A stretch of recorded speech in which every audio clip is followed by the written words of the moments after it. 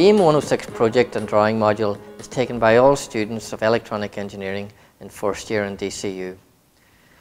The module aims to promote good project planning and it helps the students to work as a team.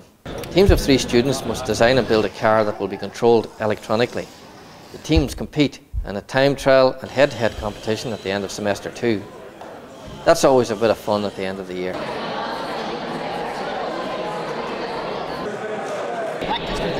The students' communication, design and fabrication skills are developed throughout semester one and two. Project planning using technical drawing and ECAD lead to the fabrication and electronic assembly of the car. Three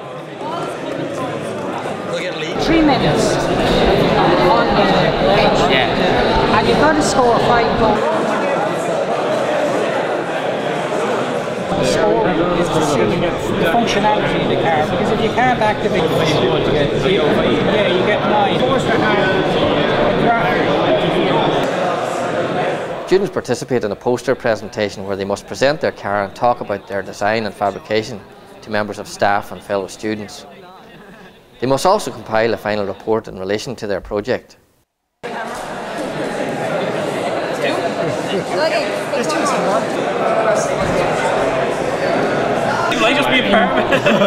Discussing it or something like that. Oh, oh. oh, oh. Final marks awarded are based on the students' individual work and team project work.